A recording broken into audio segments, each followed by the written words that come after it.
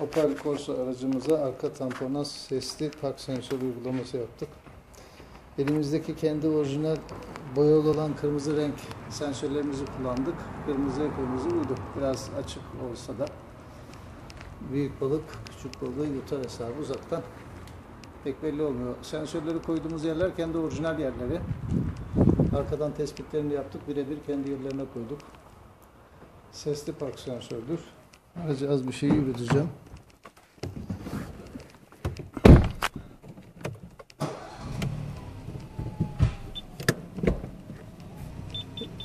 Dükkanın köşesinden algılama yapıyor ve hızlanıyor, hızlanıyor. Aracın arkası boşa çıktığı anda ötme kesiliyor. Arka boşlukken geriye taktığımızda kısa bir bırk verir.